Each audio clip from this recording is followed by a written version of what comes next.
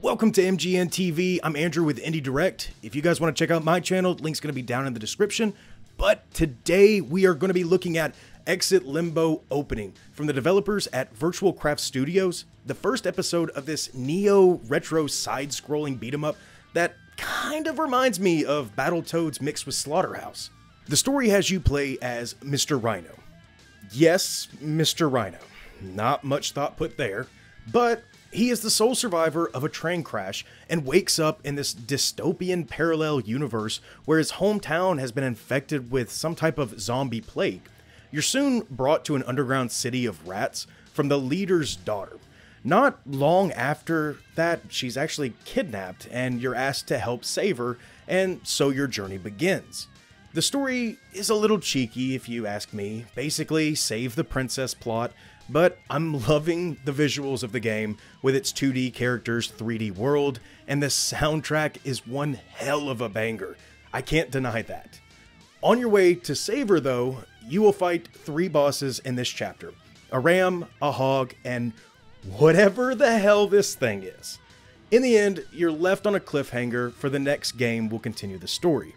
So, of course, I said this game reminds me of Battletoads and Slaughterhouse when I first saw it, and I was pretty close. You encounter enemies as you make your way through the city and will run into arena fights as well. For combat, you have your standard X combos and Y grapples. Oh, and I'm definitely, definitely going to recommend you use a controller for this because of the combo system. To pull off the ultimate moves, I guess you can call them, you need to hold back the block and perform variants like back, forward, and X, and other variations like this. The combat is a little clunky, and your punches don't really feel like you have a lot of weight behind them. Even the zombie sheep take quite the beating before they go down. The combos are alright. I feel like I use that more because trying to combo on punches or kicks is only done through X. I feel like it could have been implemented a little bit better by putting the punch for X and B for kick. Something to add more variety instead of just moving the joystick and hitting one button. But some of the kill animations and the bosses are very unique, but fall a little flat on the move sets, but I guess what boss doesn't? Visually, the dystopian visuals are a great mix between futuristic and destruction, and it has me. The cutscenes are short but play like a rolling comic book. The 2D characters in the 3D space is a little weird at first, but you quickly get used to it. It's strange they kind of went for this style, but I guess it makes it stand out because it definitely got my attention. The music is a perfect match for this game, a mix of metal and somewhat EDM, but not EDM, that fits this futuristic destruction atmosphere.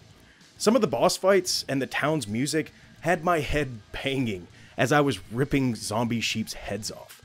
It's relatively short game and the combat side is kind of lacking.